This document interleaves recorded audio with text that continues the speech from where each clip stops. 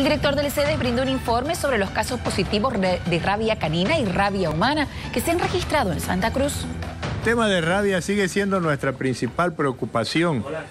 La zoonosis de rabia en Santa Cruz sigue siendo elevada. Nuevos casos de rabia canina y rabia humana en Santa Cruz preocupan a las autoridades del CEDES.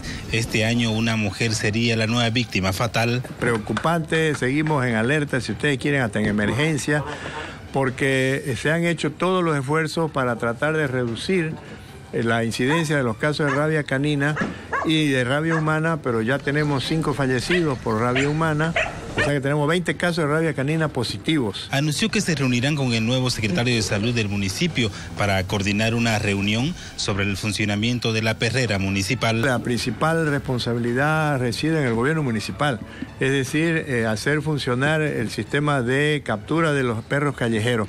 Entonces este es el problema y estamos ya con el plan de emergencia para reunirnos con el gobierno municipal. Joaquín Monasterio cree que los perros callejeros son el principal problema para esta enfermedad, sin embargo ya analiza una ley para identificarlos.